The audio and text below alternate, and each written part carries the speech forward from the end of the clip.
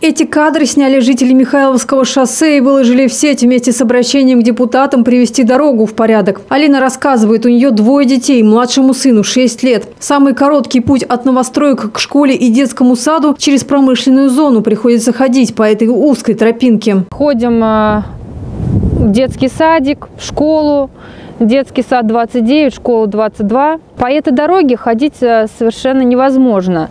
Она не освещена. Дети некоторые учатся во вторую смену по а, дороге домой. Получается, они идут в кромешной тьме и небезопасно вообще. Грязь, разбитые плиты, мусор – это видят дети каждый день по пути в школу и детский сад. Светлана с трудом справляется с коляской, чтобы проехать по снегу. Конечно, в начале года там обрезали ветки деревьев. Мы как-то один раз проходили, но все равно страшновато.